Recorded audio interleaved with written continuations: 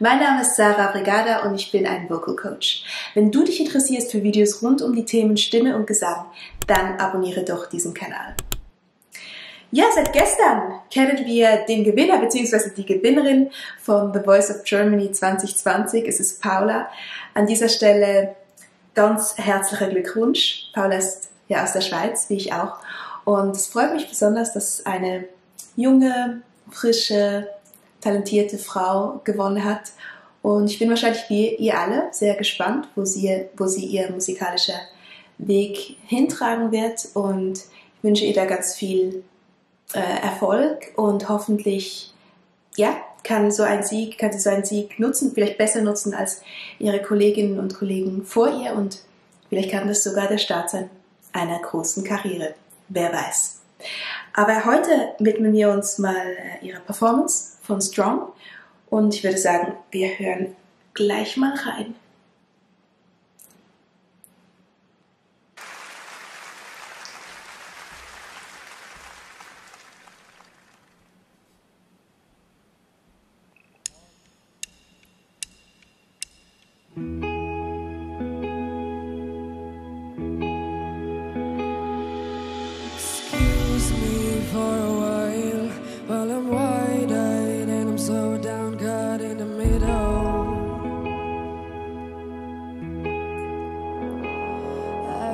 Excused you for a while while I'm wide eyed and I'm so down, caught in the middle.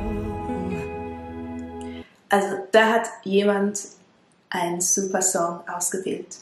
Ich finde London Grammar passt wunderbar zu Paula. Also die Stimme von, von Hannah, von der Sängerin, die ist ziemlich ähnlich, die ähneln sich sehr.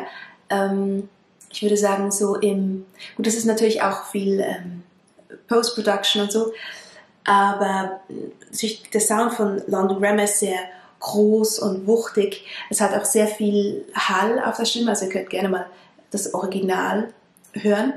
Und das, das passt, also der Einstieg, denke ich, passt wunderbar, weil, weil Paula hat auch so diese, die, diese volle, kräftige Stimme jetzt gerade hier, diese dunkle Klangfarbe.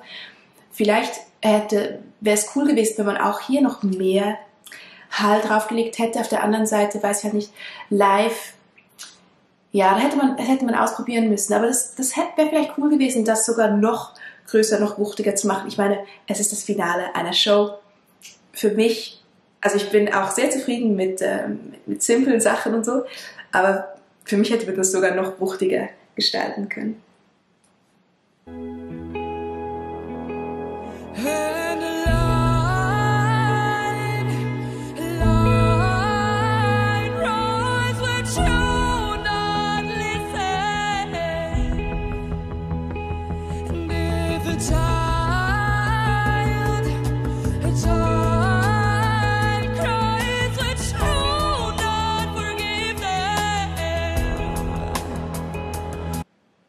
Das finde ich allgemein sehr, sehr schön an diesem Teil im Song, dass das so, so legato ist, so schön gebunden und die Stimme so viel Raum hat. Das gefällt mir sehr, sehr gut.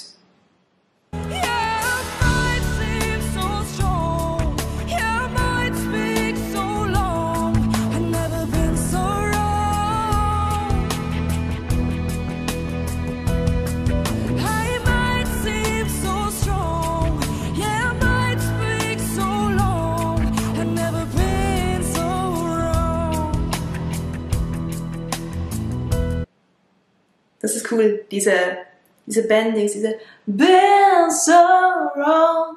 Das ist äh, sehr cool. Das ist was, was mir sowieso auch immer gefällt. Einfach der Stimme ganz viel Raum geben, lange auf den Noten bleiben. Eigentlich die Stimme auch ein bisschen mehr wie ein Instrument nutzen. Excuse me for a while while I'm wide eyed and I'm so down, caught in the middle.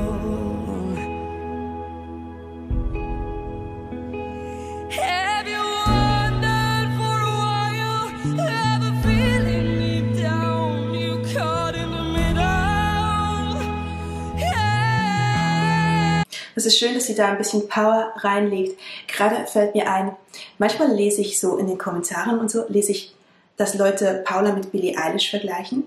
Und ich denke dann immer, hä? Also, wo kommt dieser Vergleich her? Weil die beiden klingen überhaupt nicht ähnlich.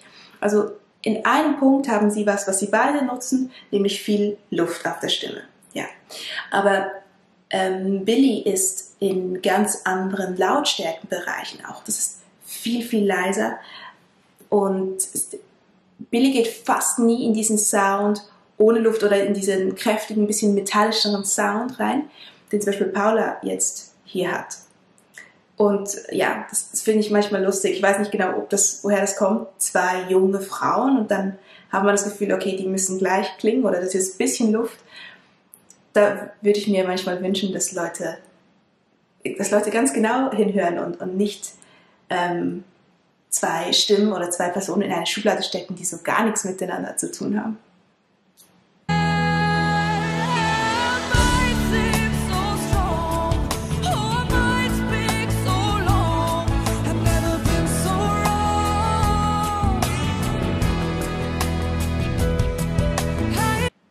Das ist total cool mit den Bläsern hier. Das gefällt mir ganz gut im Arrangement. Ja, das gibt, so ein, gibt eine ganz spezielle Note. Weil ansonsten ist ihre Performance natürlich schon relativ nah am Original. Also so viel, so krass viel Innovation ist jetzt hier nicht dabei. Braucht's aber auch nicht. Ich glaube, es gibt zwei Wege, die funktionieren einfach immer sehr, sehr gut. Der eine Weg ist, man nimmt einen Song oder einen Künstler, der ganz, ganz weit von einem äh, entfernt ist oder von der Version, die man macht und macht was komplett Neues draus und, und überrascht die Hörer. Oder man nimmt etwas, das wirklich nah an einem ist. Und ich muss schon sagen, ich habe äh, London Grammar auch schon live gehört. Ähm, eben die Paula und die Hannah, die haben schon ziemlich die gleiche Stimme, Klangfarbe. Bei Hannah noch ein bisschen dunkler als bei Paula. Gut, sie ist auch älter ähm, unwesentlich zwar, aber trotzdem macht schon ein bisschen was aus. Und ähm, aber ansonsten ist es sehr nah beieinander und darum funktioniert das so. Also wenn ein Song für eine Stimme, eine Klangfarbe gut funktioniert, wird er, auch wenn eine andere Sängerin das singt, aber sie ähnlich klingt, wird es genauso gut funktionieren, ist ja klar.